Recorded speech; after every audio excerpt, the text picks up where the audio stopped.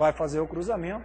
E aí, uma colher de chá, né? o zagueirão do Curilico ajudou, né? Jogou para dentro, o Alisson fez o gol.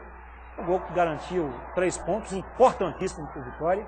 O resultado de ontem garantiu momentaneamente a primeiro, o primeiro lugar para o Vitória, porque se o Vitória empata o jogo, a coisa ia complicar.